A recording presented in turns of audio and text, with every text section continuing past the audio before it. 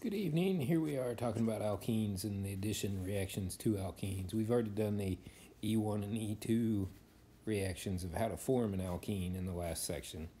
So here we have some common addition reactions to an alkene where depending on what we need to add, we can use different reagents. We can do the hydrohalogenation we can do. So hydrohalogenation we add a hydrogen and a halogen across the double bond. If we do a hydration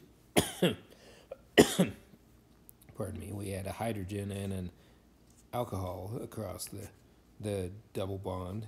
If we do a hydrogenation we add a hydrogen on each end of the double bond. If we do a halogenation we add a halogen on each end of the double bond. A halohydrin is a, a, halogen and an alcohol on each end of the double bond, or we can do a dihydroxylation where we put an OH on each end of the double bond. Depends on what we need to do, what we can do with this. So many different reactions are observed with alkenes, and basically it comes down to the pi bond is a nucleophile so the pi bond can go and attack the least electronegative atom of the whatever we're adding to it, kicking out the more electronegative atom, which when we do that, as we said earlier in class, back on the in the first test, the more stable the cation is, the more substituted it is. So we're going to get the most stable cation we can when the pi bond attacks the, the less electronegative atom. So that puts the hydrogen on the less substituted carbon in this example with HBr, and the bromide then could add to the more substituted carbon in the next step of the mechanism. The alkene is acting as a base slash nucleophile in the first step, and this process will be used over and over throughout the next couple of chapters. So in this, we have the addition versus an elimination thermodynamic perspective. And in this, at low temperature, we can do the addition of HX across the double bond. Or at high temperature, we can do the elimination of HX to form the double bond. So it just depends on which way we need to go and what all we can do. So in this reaction, one pi bond is broken, one sigma bond is broken, and two sigma bonds are formed in the reaction. Sorry, sigma bonds are formed.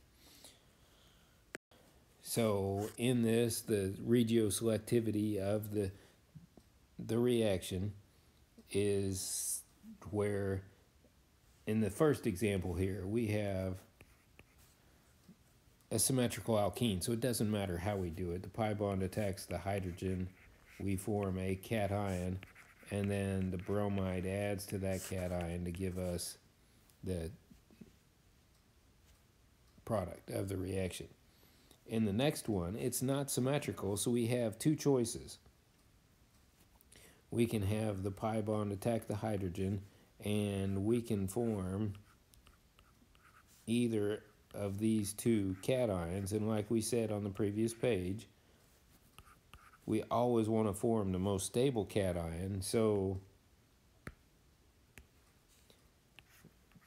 the secondary one is not going to form at all. All we're going to get is the primary or the tertiary one, and then Br minus can add to that tertiary cation to form the the bromine, adding to the more substituted carbon. Okay, now in this reaction, or in this chapter, there's the what's known as Markovnikov and anti-Markovnikov additions, and a lot of people talk about that and push that in the the class. But really, if you understand the mechanism, whether it's Markovnikov or anti-Markovnikov, it does not matter. If you understand what's going on in the mechanism, you can figure out which one it is. If you memorize all of it and you get flustered on the test, there's no way to recover from that. Okay, so while Vladimir Markovnikov did a lot of great work, just memorizing it's Markovnikov or anti-Markovnikov won't get us anywhere. So here's the basic mechanism again, and I won't use Markovnikov or anti-Markovnikov. I'll just talk about the the dead Russian rule, which is the alkene acts as a nucleophile. The alkene attacks the least electronegative hydrogen or atom. It goes to the less substituted carbon of the double bond, and then the more electronegative atom, in this case the bromide, will add to the more substituted carbon to give us this, where the less electronegative atom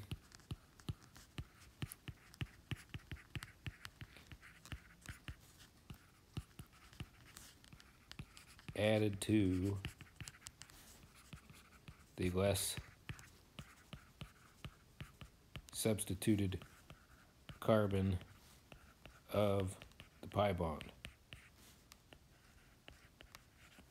Then, after that happens, the more electronegative atom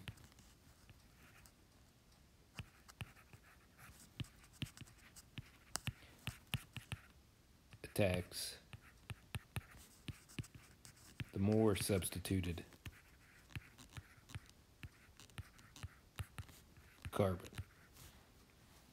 Okay, and this will happen in every reaction we do throughout the this section. The more, the less electronegative atom adds to the less substituted carbon, and then the more electronegative atom will attack the more substituted carbon of the initial pi bond. And it doesn't matter if it's a double bond or a triple bond, they all do the same sort of thing. And it's all about this, the stability of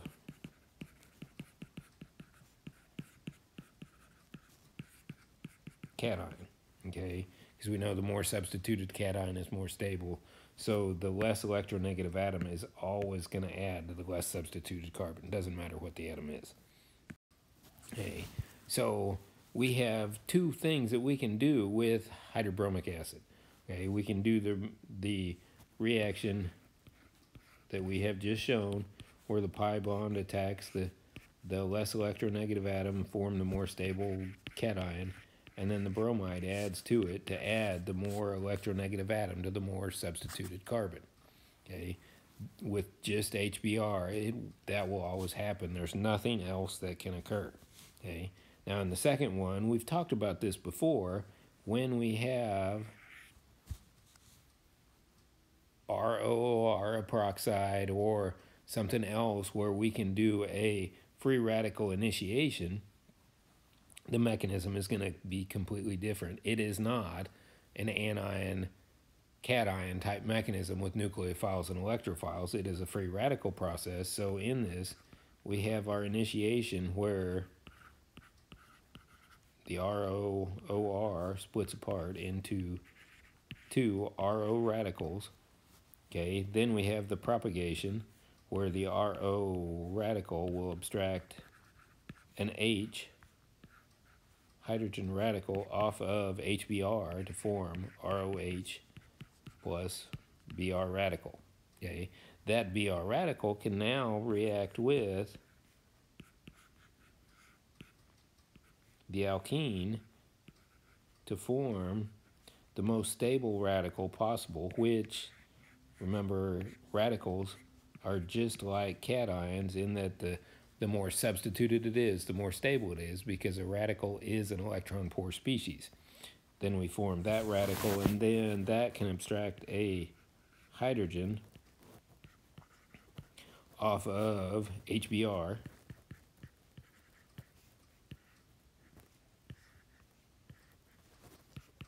to form our final product and then we can terminate the reaction with any two radicals coming together. It doesn't matter what you want to show, two bromine free radicals or what. Well, that gives us Br2, okay? But it could be any of the any two free radicals that you've showed in the reaction could come together in the termination and terminate the reaction. Okay, so here's that mechanism drawn again, neatly drawn where we have the initiation where we form the free radical. We have the free radical of the RO plucking the hydrogen off of HBr to give us a new free radical of Br radical. that can then go add to the alkene to form a new free radical in an initiation step, or in a propagation step, excuse me, and then that can grab a hydrogen to give us our final answer because we know that in a free radical reaction we need to show the formation of all of our products in the the process.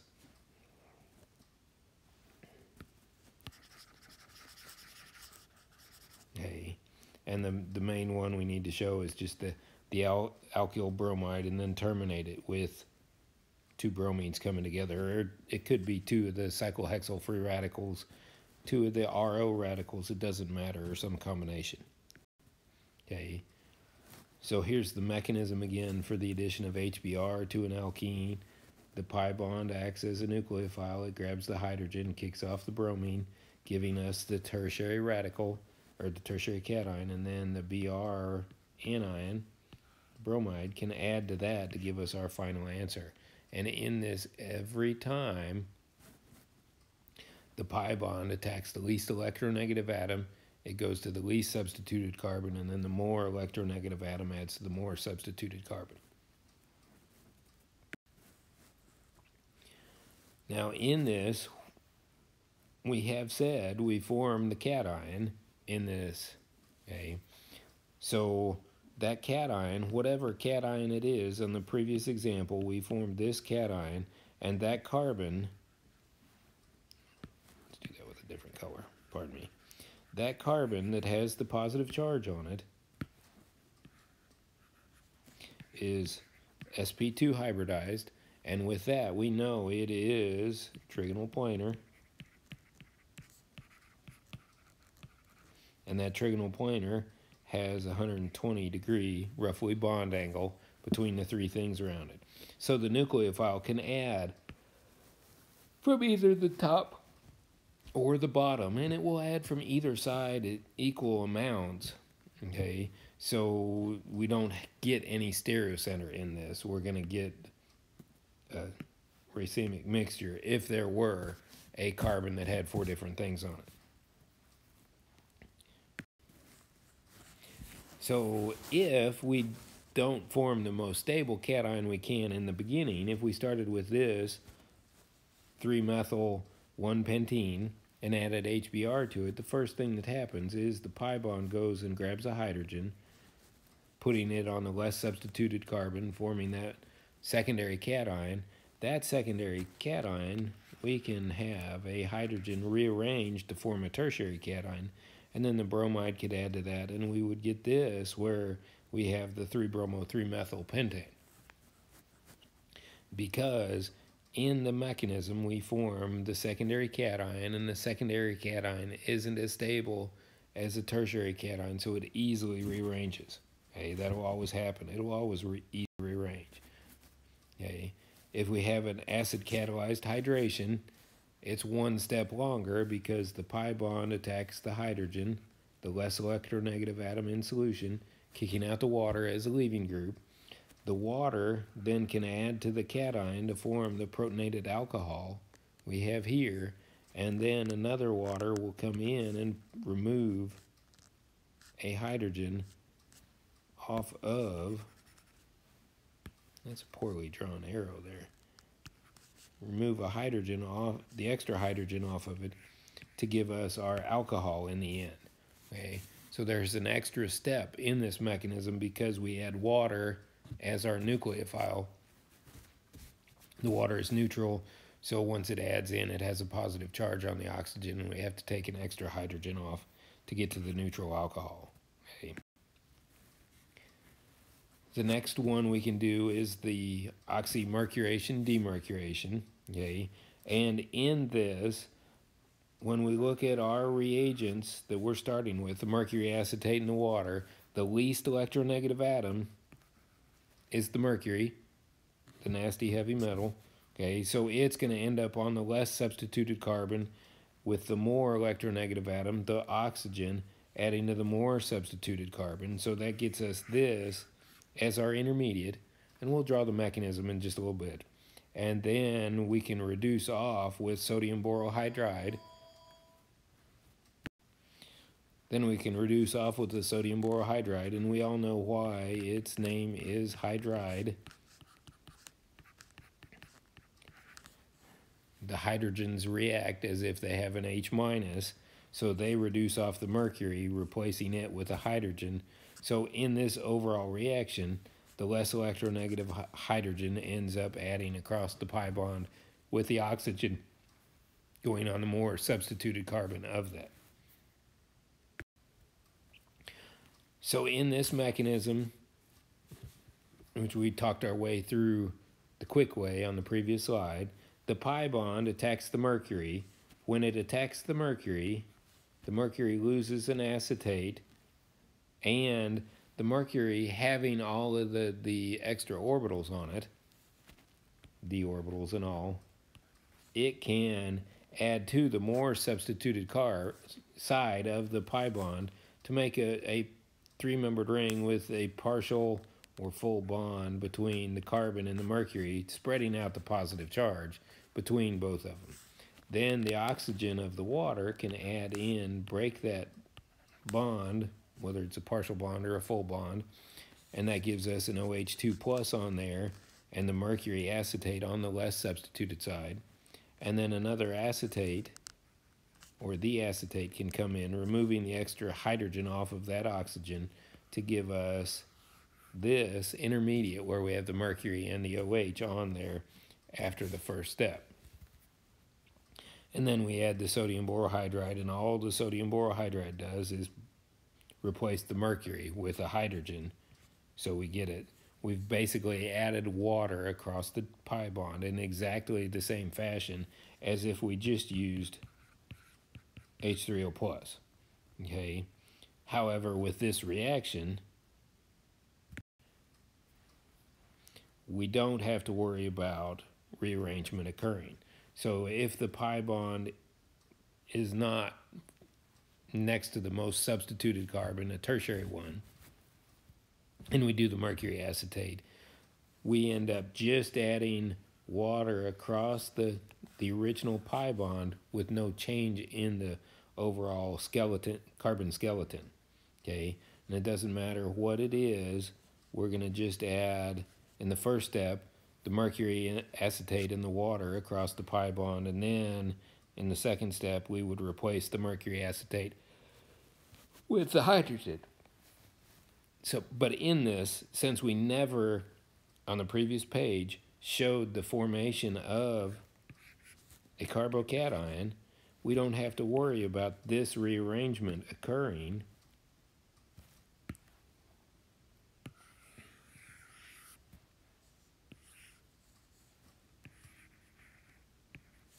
because we don't have that full cation on that carbon. So it's not going to rearrange because it's stabilized from the, having that partial bond to the mercury.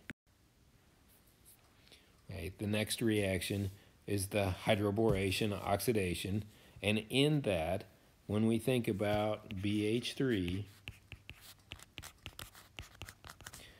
we can think about the order of electronegativity for outdoor clam bakes, never bring canned salmon, ham, or pancakes. Know, it's in the syllabus. We talk about it once a week at least. But in that, we talk about hydrogen, ham, but we never say anything that's boron. So the boron is less electronegative than the hydrogen. So in the mechanism, the pi bond is going to attack the boron. But in this, as it attacks the boron, the hydrogen gets transferred over to the more substituted side at the same time because we can't kick out an H minus. We know hydrogen's not a good leaving group, so it has to be used as it transfers. So we added the hydrogen and the boron at the same time, so they add to the same side. So we're going to get the addition of that H and boron to the same side and then in the second step of the reaction, we replace the boron, oxidize it off with an alcohol, with, with the hydrogen peroxide and hydroxide. Okay, we won't draw the mechanism in this class.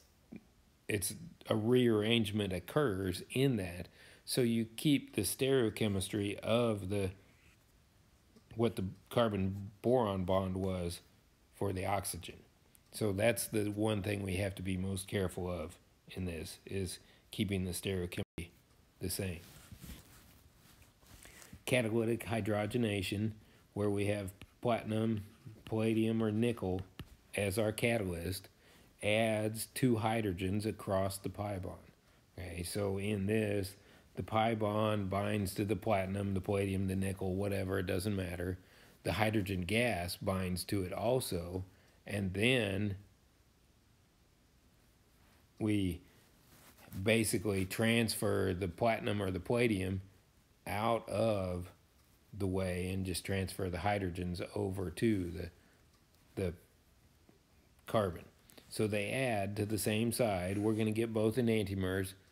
We're not going to get just one of them. There, we'll get if there is an enantiomer, we'll get both of them. If there's a, if it forms a stereocenter, okay. There's we don't just get one of them because it adds to both faces of the pi bond because both of the carbons here, remember, are sp2 hybridized. They're trigonal planar. Okay, we don't have any, we don't have to, with, with it being planar, it's going to add from either side, the top or the bottom, and it'll always add from either side. There's nothing we can do about it. Doesn't, does it keep one side or the other from happening? Okay, the last mechanism, the halogenation or halohydrin formation, that both do roughly the same thing. We have the four possible mechanisms here, okay? And in this, we know that in the addition of the halogens, the bromines add anti to one another across the, the pi bond. So in this, since they add an anti, we know it can't be mechanism one because they're both the syn and anti addition. That doesn't happen. Okay. In mechanism two, we get only syn addition, so it can't be that one. In mechanism three, we get only the anti addition, so that is possible. And in mechanism four, we add the bromine, forming the cation, which we could have rotate around, or we could form the three membered ring and then open it up. But if we went through this intermediate right here, we could have rotation around this bond. So really, we could get some of the anti and some of the syn. There wouldn't be any control over it. Okay, so the only one that can work is mechanism three, where the pi bond attacks the bromine, and as it attacks the bromine, the bromide leaves, and then the bromine also has another pair of electrons, so we get the bromonium ion, and then the nucleophile, the bromide, can add from the backside, opening it up.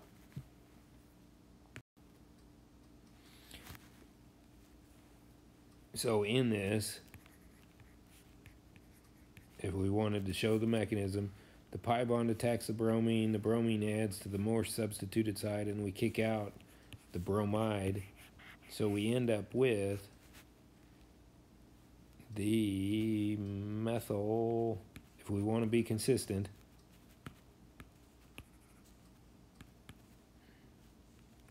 the methyl is going back, the bromonium ion is coming towards us. And then in the second case, second step, the bromide minus comes in and adds to the more substituted side from the backside of the bromonium ion, flipping it forward, giving us this stereocenter. Okay, so it's the addition of the anti-addition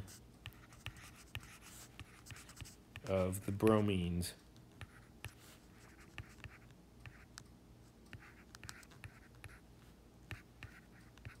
across the pi bond. Okay, and it always adds them anti to one another. In the next one, we're going to have the same thing happen at first, where we attack a bromine, kick one out. The bromine that we attacked adds in to form the bromonium ion again. Anytime we have a halogen, we're going to form the bromonium ion. And then our nucleophile is not the Br minus, it's water because we have a, a lot of it around. It's a solvent. So we add it in, it adds from the back side. This bromine of the bromonium ion stays put. The other one ends up methyl coming forwards with the OH2 plus going back and then we remove our extra hydrogen off of it and we have the halohydrin. Okay, for the dihydroxylation, there are actually four dihydroxylation reactions that we can do. The first two are the anti-dihydroxylation, where we end up putting the OHs on opposite sides of the, the double bond. And in this, the first thing that happens is we react it with a per acid. We all remember what a per acid is from what we learned in Gen Chem. Okay, the per implies an added oxygen in there. So a regular carboxylic acid just has the two oxygens. A per carboxylic acid has an extra one in there, and the pi bond can attack it, kicking out the leaving group, sending the electrons over towards the carbonyl, which then go grab the hydrogen, and it can go uh, send electrons to the more substituted side to give us the three-membered ring, the epoxide. And then we can open that epoxide up with either acid or base, where if we add acid to it, we protonate the three-membered ring and our nucleophile adds to the more substituted side of the epoxide. In the hydroxide addition, the hydroxide adds to the less substituted side because of how the, the reaction occurs via SN2 type. So in this mechanism, when we drew the first step previously, but the pi bond grabs the, the oxygen off of the per acid, we send the electrons around in the per acid to kick off the the a new a different acid and then as we break this bond between the oxygen and the hydrogen the electrons go to form the three-membered ring so we get the epoxide and we get some carboxylic acid, the same basic carbon skeleton as what we had initially for our per acid. We've just lost one of the oxygens out of it. Now there's two mechanisms that we can go about opening up the epoxide. We can add a hydroxide, a strong base. It undergoes an SN2 type mechanism where in an SN2 the nucleophile adds to the less substituted carbon have direct displacement, and then once we've opened up the epoxide, we can protonate the, the O minus, and we get the anti-dihydroxylation with the nucleophile adding to the less substituted carbon of the pi bond.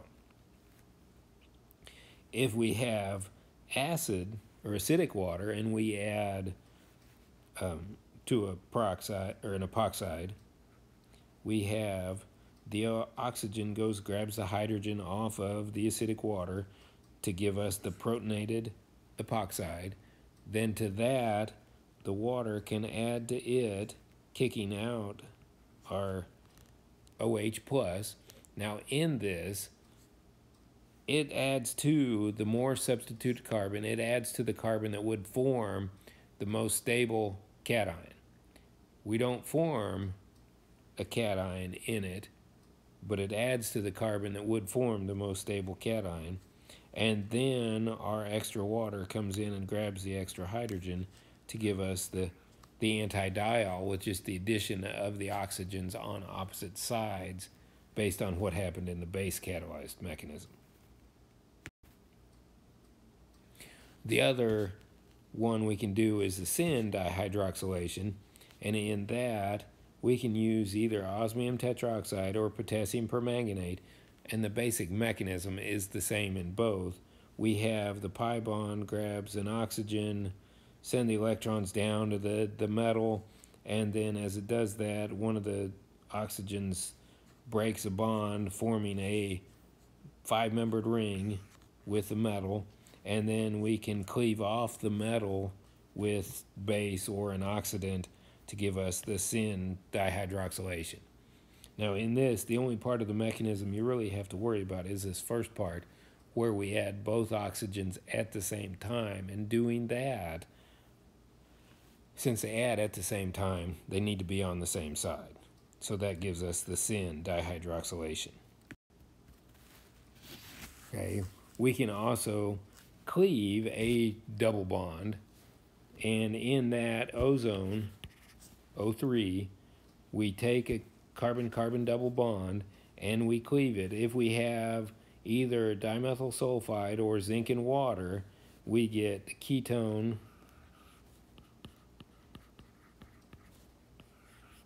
and aldehyde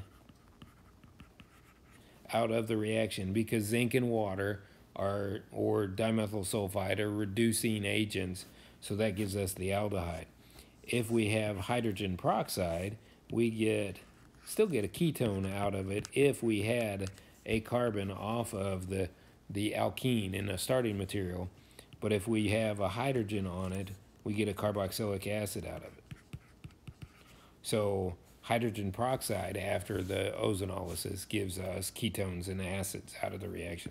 So we have the possibility of either one forming, depending on what kind of workup we do, whether it's the dimethyl sulfide or the hydrogen peroxide.